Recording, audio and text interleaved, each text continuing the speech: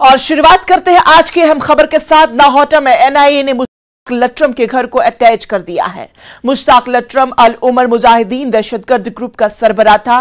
मुश्ताक लट्रम को मसूद अजहर और उमर शेख के साथ रिहा करना पड़ा था। मुश्ताक लट्रम को आईसी 814 तैयारा हाईजैक मामले में रिहा करना पड़ा था। मेरे पीछे जो आप घर देख रहे हैं मुश्ताक अहमद जरगर, एलियास मुश्ताक लेटरम का है।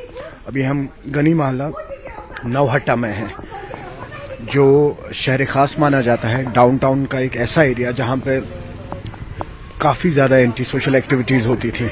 आप पत्थरबाजों की बात कर ले। मैं आपको ये भी कह दूँ कि ठीक जामा पीछे है। ये जामा मस्जिद के पीछे और ये एरिया जो है, ये काफ़ी ज़्यादा सेंसिटिव है। आज यहाँ सुबह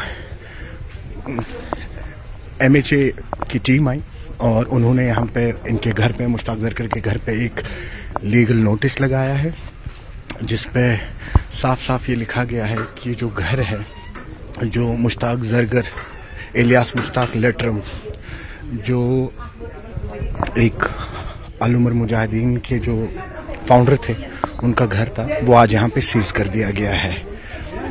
आप देखिए तो ये जो एक्टिविटीज़ हैं एमएचए एनआईए की और पुलिस और आर्मी की एक कलेक्टिव एफर्ट्स है और आप देख रहे होंगे कि काफ़ी सारी जगहें जो हैं, वो अभी रेड हो चुकी हैं सील हो चुकी हैं। हाल ही में एक सर्कुलर भी पास हुआ था एसआईयू का भी, जहाँ पे ये मेंशन किया गया था कि अगर किसी भी जगह पे, यहाँ पे किसी भी टेररिस्ट को जगह दी जाएगी, पनाह दी जाएगी या उनकी कोई भी प्रॉपर्टी है, उस पर कड़े से कड़े स्टेप्स लिए जाएँगे।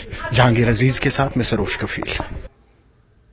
वज़ीर अजम मोदी ने जी ट्वेंटी इजलास में वजर खारजा से खिताब किया। इस मौके पर वज़ीर अजम ने मालियाती बहरान, मौसमियाती तब्दीली, वबाही अमराज और दहशत गर्दी पर बातचीत की। साथ ही कहा कि बहुत से तरक्की पजीर ममालिक अपने लोगों के लिए खुराक और तोानाई के तहफ़ को यकीनी बनाने की कोशिश करते हुए कर्जों के साथ जदोजहद कर रहे हैं।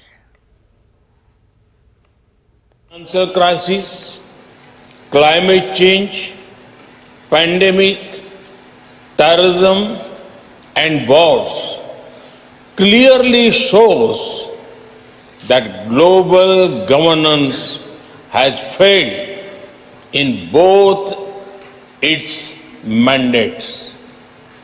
We must also admit that the tragic consequences of this failure are being faced most of all by the developing countries. After years of progress, we are at risk today of moving back on the sustainable development goals. Many developing countries are struggling with unsustainable debt while trying to ensure food and energy security for their people. They are also the ones most affected by global warming caused by richer countries. This is why India's G20 presidency has tried to give a voice to the global south. No group can claim global leadership without listening to those most affected by its decisions. Ladakh LG Brigadier Dr. B.D. Mishra, retired